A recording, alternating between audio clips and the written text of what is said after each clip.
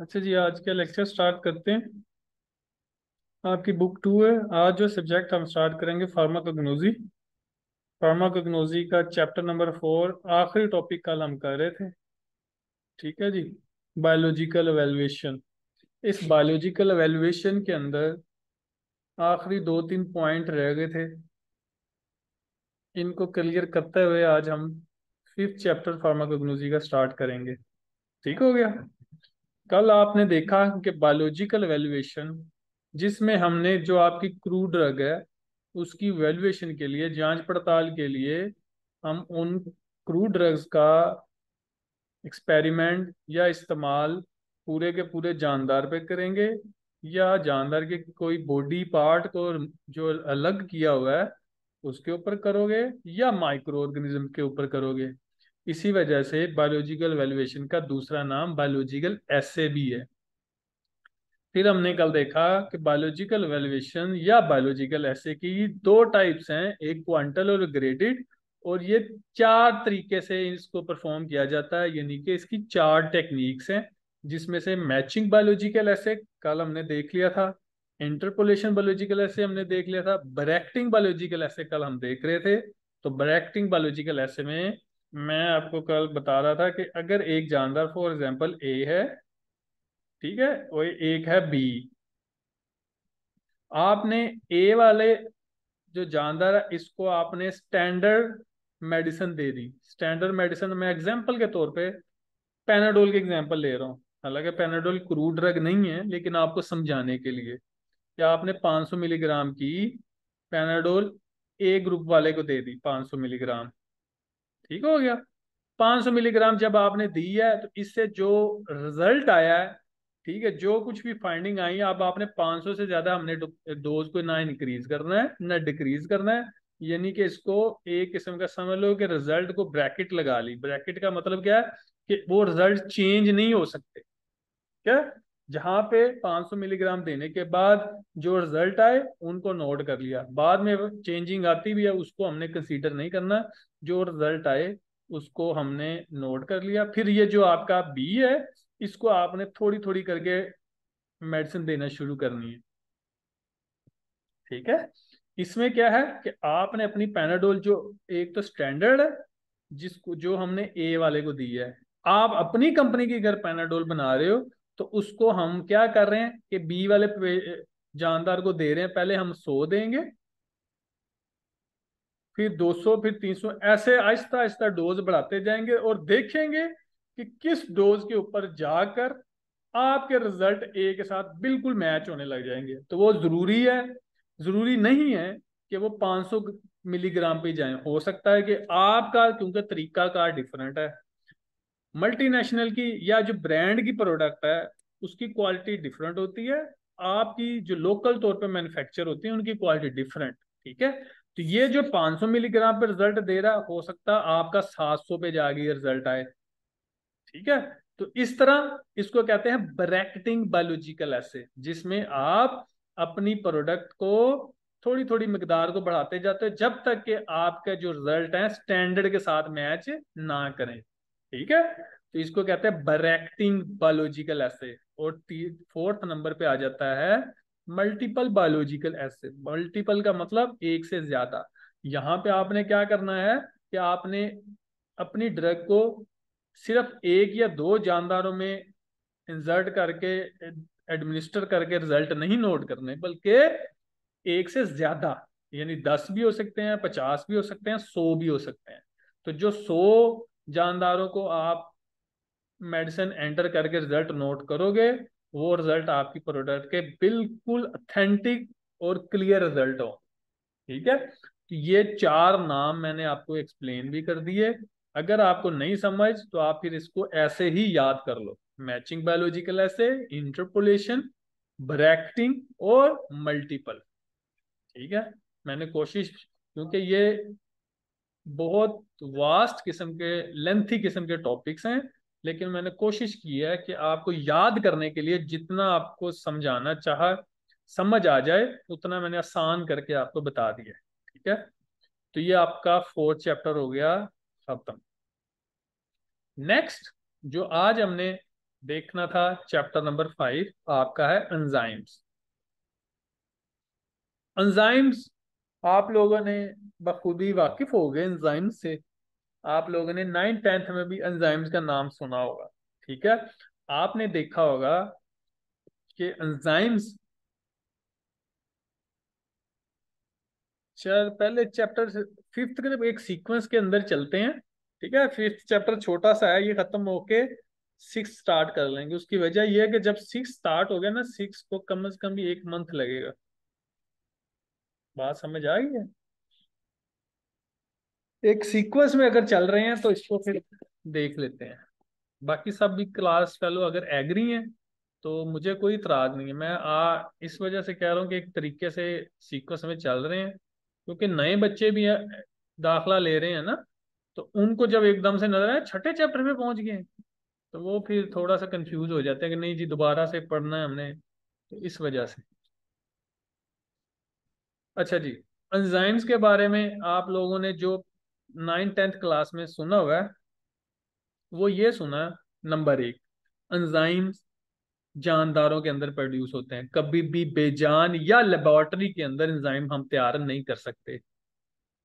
ठीक हो गया? तो एंजाइम की पहली खसूसियत यह है कि ये जानदारों के अंदर पैदा होते हैं, बनते हैं। ठीक है? नंबर दो एंजाइम हमारी बॉडी के अंदर जो बायोलॉजिकल रिएक्शंस होते हैं बायोकेमिकल रिएक्शंस होते हैं, उनको बूस्ट करते हैं। बूस्ट का मतलब तेज करना। ठीक है? दो प्रॉपर्टीज़ होगी। फिर दोबारा से बोल रहा हूँ एंजाइम जानदारों के अंदर बनते हैं। नंबर एक। नंबर दो, ये हमारी बॉडी में जो होने वाले बायोलॉजिकल या बायोकेमिकल रिएक्शन हैं, उनको बूस्ट करते हैं, तेज करते हैं। दो प्रॉपर्टीज़ होगी। तीसरी प्रॉपर्टी ये है कि एंजाइम प्रोटीन नेचर के होते हैं। ये तीन पॉइंट जो मैंने अभी आपको बताए, अगर आप ये जेन में रखते हो तो एंजाइम्स की डेफिनेशन आपको चुटकियों में याद हो जाएगी। क्या तो एंजाइम्स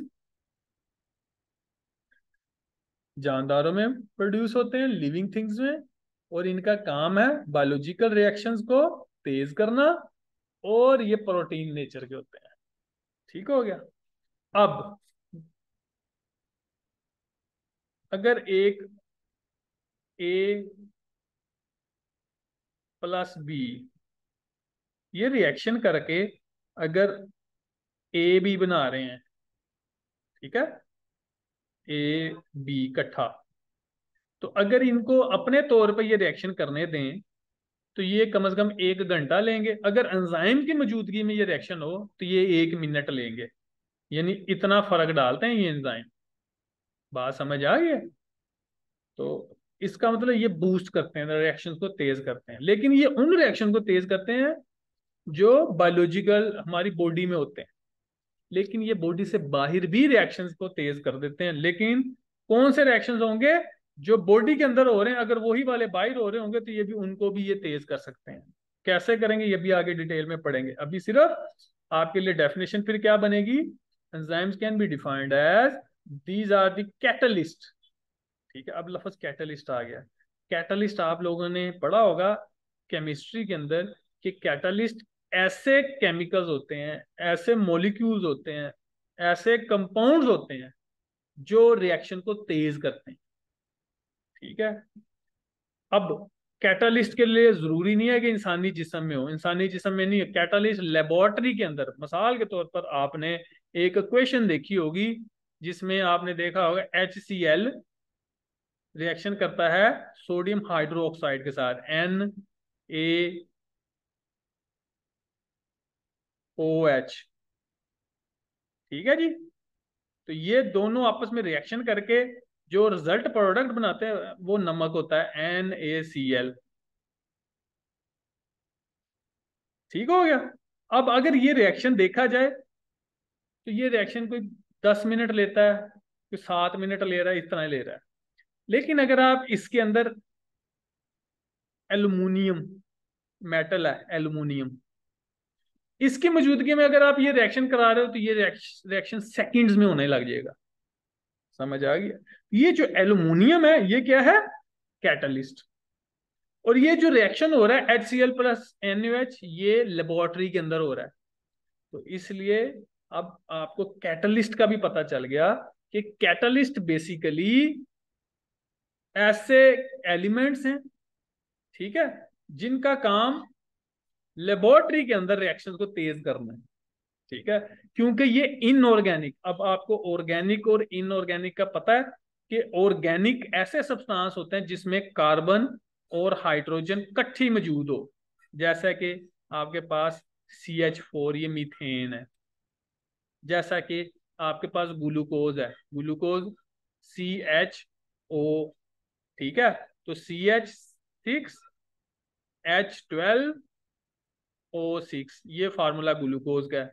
तो जिसमें सी और एच इकट्ठे हों, उसको कहते हैं ऑर्गेनिक और जिसमें ये सी और एच लैदा लैदा हो, उनको कहते हैं इनऑर्गेनिक जैसा कि कार्बन डाइऑक्साइड और वाटर और इस तरह और भी बड़ी चीज़ें ठीक हो गया?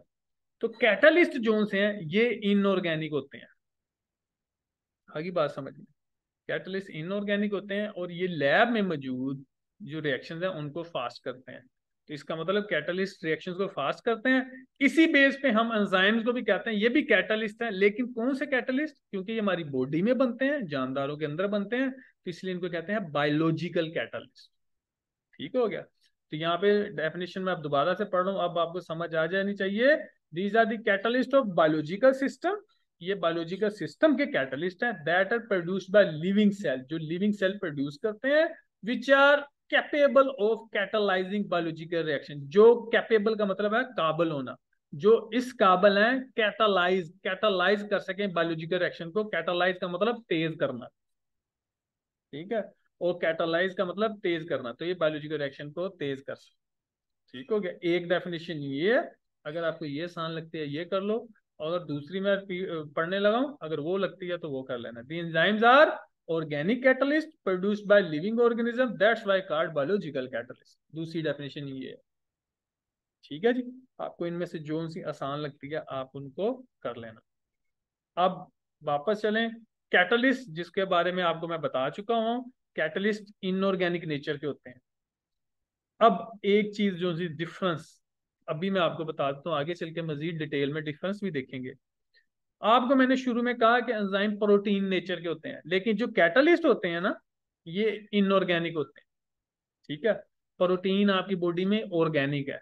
तो एंजाइम जो से हैं, वो एक ही रिएक्शन अगर बार बार करवाते जाएँगे ना, करवाते जाएँगे तो वक्त के साथ साथ जो प्रोटीन होती है ना, वो डी होना शुरू हो जाती है, टूटना शुरू हो जाती है और एंजाइम एक टाइम आता है जब एंजाइम की प्रोटीन बिल्कुल टूट जाए तो एंजाइम बेकार हो जाते खत्म इनकी जगह नए एंजाइम बनते हैं। ठीक है? तो इसलिए एंजाइम की एक लिमिट होती है। लेकिन जो कैटलिस्ट होते हैं ना, जैसे कि एल्यूमिनियम का ज़िक्र किया तो ये जितने मर्ज़ी आप रिएक्शन करा दो, इनकी सेहत पे कोई फ़र्क नहीं पड़ता। इनका काम सिर्फ़ रिएक्शन को तेज कराना, ये रिएक्शन में शामिल नहीं होते। तो इनऑर्गेनिक नेचर के हैं तो इसलिए ये खराब नहीं होते। तो इसलिए एल्यूमिनियम से आप हज़ारों रिएक्शन करवा सकते हो, लेकिन एंजाइम से एक लिमर तक रिएक्शन होंगे, उसके बाद एंजाइम जो है वो खराब होने शुरू हो जाते हैं। क्योंकि प्रोटीन नेचर के। ठीक है? तो अब कैटलिस्ट यहाँ पे आपकी बुक में दिखाया हुआ है catalyst is a chemical which is inorganic in nature use to boost up chemical reaction ये भी केमिकल रिएक्शन को बूस्ट करता है but is not utilise itself in chemical reaction लेकिन केमिकल रिएक्शन में खुद इस्तेमाल नहीं होते, जैसा कि मैंने भी आपको बताया। ठीक है? All enzymes are catalyst but all catalyst are not enzyme ठीक है? ये लाइन जो सी है, आपको डेफिनेशन में पता थी कि एंजाइम जो से हैं, उनको बायोलॉजिकल कैटलिस्ट कहते हैं। क्योंकि ये कैटलिस्ट की तरह काम करते हैं, यानी रिएक्शन को तेज कराते हैं। तो इसका मतलब सारे के सारे एंजाइम कैटलिस्ट है। ठीक है? क्यों? क्योंकि ये सारे रिएक्शन को तेज कराते हैं। लेकिन सारे के सारे कैटलिस्ट एंजाइम नहीं हो सकते। क्योंकि कैटलिस्ट हमने भी पढ़ा इनऑर्गेनिक नेचर के। तो एंजाइम तो होते ही ऑर्गेनिक है प्रोटीन है, ठीक है? तो कैटलिस्ट एंजाइम्स नहीं हो सकते एंजाइम कैटलिस्ट हो सकते। अंडरस्टैंड हो गया? अब आगे चलो। ऑर्गेनिक और इनऑर्गेनिक सब्सटेंस के बारे में मैं आपको बता चुका हूँ। मेन जो डिफरेंस था वो बता दिया, लेकिन आपकी बुक में थोड़ा सा डिफरेंट करके बताया हुआ है। लेकिन अगर आपने मेरी बात को समझ लिया है ना ऑर्गेनिक और इनऑर्गेनिक का डिफरेंस तो आपको ये कभी भी नहीं भूलेगा। लेकिन आपकी बुक में थोड़ा सा ये डिफरेंस तरह कंफ्यूजिंग सा है।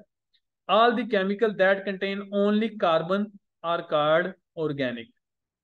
ठीक है, जिनमें सिर्फ़ कार्बन होता है, उनको ऑर्गेनिक कहते हैं। All the can not containing carbon जिनमें कार्बन नहीं होता, उनको इनऑर्गेनिक कहते हैं। अब ये थोड़ी सी कंफ्यूजन ये है कि carbon dioxide C O two C O two तो कार्बन है तो क्या फिर वो इनऑर्गेनिक है? बात समझ आइए तो ऑथेंटिक डेफिनेशन जो ऑर्गेनिक की और इनऑर्गेनिक की यही है कि ऑर्गेनिक ऐसे कंपाउंड जिनमें कार्बन और हाइड्रोजन इकट्ठे हो इनऑर्गेनिक जिनमें कार्बन और हाइड्रोजन कभी भी इकट्ठे नहीं होते। ठीक है जी। नीचे आपके सामने एक और डेफिनेशन है सबस्ट्रेट की। एंजाइम्स सबस्ट्रेट उसके ऊपर एक्शन करके उसको प्रोडक्ट में बदलते हैं। ये बात भी आपने याद रखनी है, सबस्ट्रेट को प्रोडक्ट में बदलना एंजाइम्स का काम है। जैसा कि ये आपको पिक्चर में दिखाया गया कि आपके पास ये ब्लू शेप का एक एंजाइम है।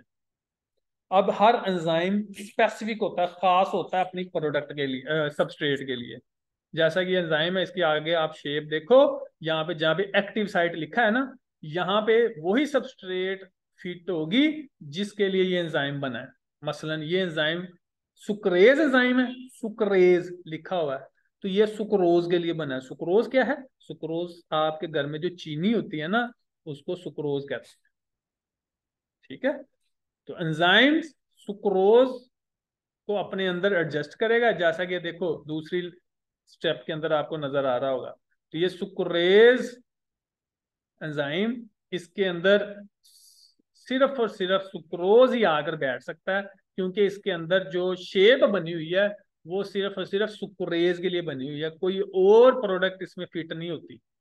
तो सिर्फ़ ये फिर सुक्रोज को अपने अंदर आने देगा। सुक्रेज सुक्रोज जैसे ही इसके अंदर आके लगेगी तो थर्ड स्टेप में आप देखो कि सबस्ट्रेट को ये प्रोडक्ट में बदल देगा और प्रोडक्ट क्या क्या बन जाएगी? क्या आपकी जो सुक्रोज है फ्रुक्टोज में और ग्लूकोज में बदल जाएगी।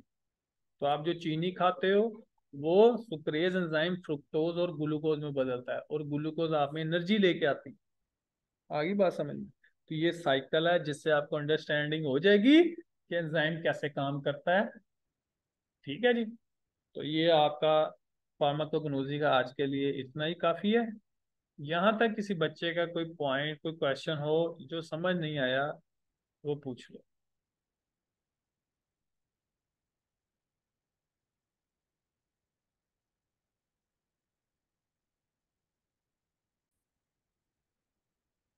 अच्छा जी।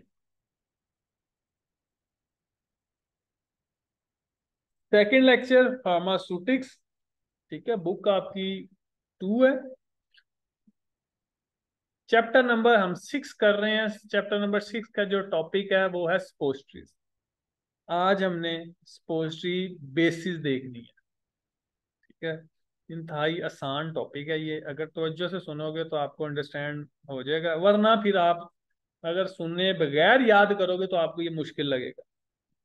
स्पोजिटरी बेसिस का क्या मतलब है? मैंने आपको कल भी बताया कि अगर आप सीरप तैयार कर रहे हो तो सीरप में लिक्विड हम इस्तेमाल करते हैं, पानी इस्तेमाल करते हैं मेडिसिन को बॉडी में पहुँचाने के लिए। तो जब आप लिक्विड इस्तेमाल करो, उसको वहीकल कहते हैं। और जब मेडिसिन को बॉडी में पहुँचाने के लिए या बॉडी के ऊपर सरफेस पे लगाने के लिए आप सेमी सॉलिड का सहारा लेते हो तो उसको आप बेस बोलोगे। तो यहाँ पे ये स्पोस्टी क्योंकि सेमी सॉलिड है सॉलिड है, इस वजह से इसको बेसिस कहा गया, कि इसमें हम बेस इस्तेमाल करते ठीक है? और स्पोस्ट्री की प्रॉपर्टी कल आपने देखी कि ये बॉडी टेम्परेचर पे मेल्ट करती है। मेल्ट करने पे मेडिसिनल एजेंट को रिलीज़ करते हैं। तो इसका मतलब क्या हुआ कि आपने जब स्पोस्ट्री बनानी है और बनाने के लिए आप जब बेस का इंतखाब करोगे तो बेस की ये खसूसियत होनी चाहिए कि वो बॉडी टेम्परेचर पे मेल्ट करके मेडिसिनल एजेंट को रिलीज़ करे। अगर वो बॉडी टेम्परेचर पर मेल्ट नहीं कर रही तो मेडिसिनल एजेंट रिलीज़ नहीं होंगे। मेडिसिनल एजेंट रिलीज़ नहीं होंगे तो वो अब्जॉर्ब नहीं होंगे। अब्जॉर्ब नहीं होंगे तो रिज़ल्ट नहीं देंगे। ठीक हो गया। तो हमारे पास फिर इसका मतलब क्या हुआ? कि स्पोस्ट्री की जो बेसिस हैं, बड़ी गिनी चुनी बेसिस हैं, क्योंकि हर बेस इस तरह की नहीं होती जो बॉडी टेम्परेचर पे, हमारे बॉडी टेम्परेचर पे 37 डिग्री पे मेल्ट करे। तो तीन टाइप की बेसिस ज़्यादातर हम यूज़ करते हैं, जिनमें से एक है जी कोका बटर कोका बटर यानी कि चॉकलेट के बीजों का जो बटर होता है ना, उसको कोका बटर कहते हैं। एक ग्लिसरो जेलेटिन बेस है ग्लिसरीन और जेलेटिन को इकट्ठा करके बनाई गई है और एक पोलिथाइलिन ग्लाइकोल। ठीक है जी? पहला, आप देखो स्पोस्ट्री बेसिस फैटी और ओलिजिनस बेसिस क्योंकि बटर का नाम दिया गया तो बटर आपको पता होता है, ये फैटी होता है फैट होती है इसमें। ठीक है जी? तो इसलिए इसको ओलिजिनस बेस भी कहते हैं। ओलिजिनस मतलब ऑयल यानी अगर फैट को मेल्ट करो तो ऑयल में बदल जाता है। तो इसलिए इसको ओलिजिनस बेस भी कहते हैं। इसमें क्या है जी? It is a fat obtained from roasted seed of theobroma cocoa theobroma cocoa plant का नाम है, जिसके बीजों को रोस्ट करके हम ये बटर निकालते हैं, जैसे पीनट बटर ठीक है? तो मूंगफली के दानों से जो बटर निकलता है, उसको पीनट बटर बोलते हैं। वो भी ऐसे ही रोस्ट करके निकाला जाता है। इसकी खसूसियत क्या है कि ये मेल्ट करता है 30 टू 35 डिग्री सेंटीग्रेड के ऊपर। अच्छा ठीक हो गया। तो यहाँ पे आप it is very good for uses it is very good for rectal suppository क्योंकि ये फैट नेचर का है तो आप याद रखना कि पीनट बटर पीनट बटर कह रहा हूँ, कोका बटर का जो स्पोस्ट्री होंगी इसको कभी भी आप उस कैविटी में नहीं रखते जहाँ पे म्यूकस हो या जहाँ पे पानी हो, जैसा कि नाक। नाक के अंदर नमी होती है तो आप ये वाली स्पोस्ट्री कभी भी नाक में नहीं रखोगे, क्योंकि नाक के अंदर जो लिक्विड निकल रहा है, वो इस ऑयल के साथ मिल जाएगा। मिल के क्या होगा कि ये ऑयल सारे का सारा जो सा है मेल्ट होने के बाद नाक से बाहर निकल आएगा और आपकी सारी मेडिसिन जाया हो जाएगी। तो इसको उस जगह पे इंसर्ट किया जाता है जहाँ पे म्यूकस ना हो। जहाँ पे वाटर प्रोड्यूस ना हो। तो इसलिए ये जो बेस्ट प्लेस है ओलिजिनस बेसिस वाली स्पोस्ट्री की, वो है रेक्टल रेक्टम ठीक है? तो यहाँ पे रेक्टल स्पोस्ट्री भी कहा जाता है इसको। It is not suitable for pessaries pessaries कहते हैं ऐसी स्पोस्ट्री जो वजाइना में रखी जाती यूरिथरल और नेजल बोगीज ठीक है? बिकॉज़ इमिसिबल विद म्यूकस इस वजह से ये सूटेबल नहीं है। ना वजाइना के लिए, ना नेजल के लिए, ना यूरिथ्रा के लिए, क्योंकि वहाँ पे म्यूकस के साथ ये इमिसिबल है। म्यूकस क्या होता है? पानी। ठीक है? And after melting leak out of the cavity तो मेल्ट होने के बाद ये बॉडी से लीक हो गया। बाहर आ जाएगी मेडिसिन सारी जाया। ठीक है? तो ये सिर्फ़ और सिर्फ़ किसके लिए सुटेबल है? It is very good for rectal rectum के लिए ज़बरदस्त है आगे चलो। दूसरी आ जाती है जी वाटर मिसिबल यानी वो जो वाटर को पसंद करती हैं वाटर के साथ मिल जाती उसमें सबसे पहले ग्लिसरो जेलेटिन अब नाम से ज़ाहिर है कि ग्लिसरीन भी होगी जेलेटिन भी होगी। जेलेटिन जो जेली आप खाते हो तो आपके पास फिर कंपोज कंपोजिशन क्या बनेगी? ग्लिसरीन वाटर ठीक है जी, और जेलेटिन इन तीनों को जब आप ऐड करके स्पोस्ट्री बनाओगे, उसको कहते हैं ग्लिसरो जेलेटिन स्पोस्ट्री इसकी खसूसियत ये होती है कि ये बॉडी टेम्परेचर पे मेल्ट करती है और ये जो आपकी बॉडी में वाटर वाले एरियाज़ हैं, वहाँ पे ये मिसिबल है। ठीक है? यानी कि वहाँ पे जाकर ये उन्हीं के साथ आप पानी के साथ मिल जाती है और मेडिसिन एजेंट को रिलीज़ करती है और वो मेडिसिन एजेंट लीक नहीं होते बाहर, बल्कि वहीं पे ही सोल्यूशन बन के अब्जॉर्ब होना शुरू हो जाता है। ठीक है? तो ये आपके पास the base being hydrophilic slowly dissolve in aqueous secretion तो ये एक्वस सिक्रीशन में आहिस्ता आहिस्ता डिजोल्व होती जाती है, हल होती जाती है एंड स्लोली रिलीज़ मेडिकामेंट और मेडिसिन एजेंट को रिलीज़ करती जाएगी, जो ऑब्जॉर्ब होती जाएँगे and it may be use to prepare all suppository particularly vaginal suppository तो ये खास तौर पर वेजाइनल स्पोजिव के लिए इस्तेमाल की जाती है। ठीक है? क्योंकि वेजाइना की जो सरफेस होती है, वो म्यूकस सेक्रीटिंग होती है। ठीक है? आगे चलो। पोलीथाइलिन ग्लाइकोल पीईजी कहते हैं इसको पीईजी ठीक है? These are polymers of ethylene oxide and water ethylene oxide और वाटर के मॉलिक्यूल्स आपस में जुड़ जुड़ के एक बड़ा सा स्ट्रक्चर बना दें, उसको पोलीमर कहते हैं। जैसा कि ये आपके साथ एक मालिक्यूल दो मालिक्यूल तीन मालिक्यूल चार मालिक्यूल इस तरह करके पाँच मालिक्यूल ये आपस में जुड़ते जाएँ, ऐसे हम इनको जुड़ने, ये छोटे छोटे मालिक्यूल्स आपस में जुड़ के जब एक बड़ा नेटवर्क बना दें, उसको पोलीमर कहते हैं। ठीक है? तो ये लिखा हुआ है these are polymers of ethylene oxide and water यानी कि ये जो मालिक्यूल्स हैं, ये एथाइलिन ऑक्साइड और वाटर के हैं, ये आपस में जुड़ जुड़ के एक बड़ा सा स्ट्रक्चर बना देते हैं। ठीक है? इसलिए इसको पोलीमर कहते हैं। पोलीमर पोली का मतलब ज़्यादा मर का मतलब मालिक्यूल ठीक है? They are commonly known as carbowaxes इनको कार्बोवैक्सिस भी कहा जाता है। ये आपने टैबलेट्स की कोटिंग के अंदर भी पढ़ा था ये।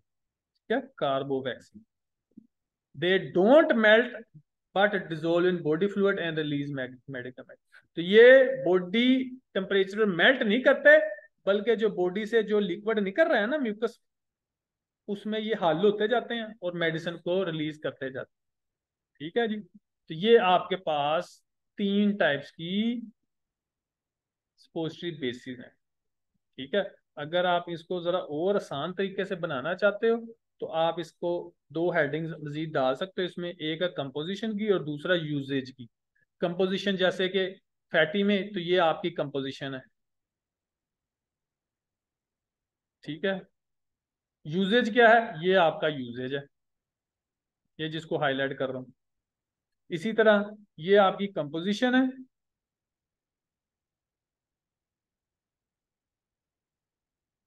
ये यहाँ तक कंपोजिशन ठीक है? और ये आपका यूजेज है। बीच में जो लाइन है, अगर आपने कंपोजिशन में ही लिखनी है तो बेशक लिख सकते हो। इसी तरह ये आपकी कंपोजिशन है, और ये आपका यूजेज है। तो ये नहीं कि दो दो हेडिंग्स आप ये वाली अगर बना लेते हो तो आपके लिए जरा और हेडिंग के साथ याद करना आसान हो जाएगा। ठीक है जी? तो आज के लिए फार्मास्यूटिक्स का बेसिस ही। यहाँ तक किसी बच्चे को अगर समझ नहीं आई तो बताओ।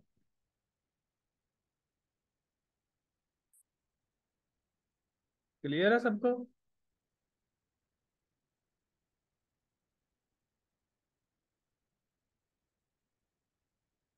एरोसोल वाला टॉपिक तो है ही नहीं आपका। एरोसोल तो करना ही नहीं है।